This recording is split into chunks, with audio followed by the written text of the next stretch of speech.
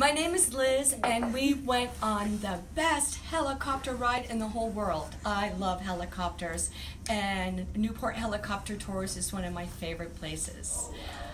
Um, it doesn't get better than this. Thank you so much. We'll be back soon.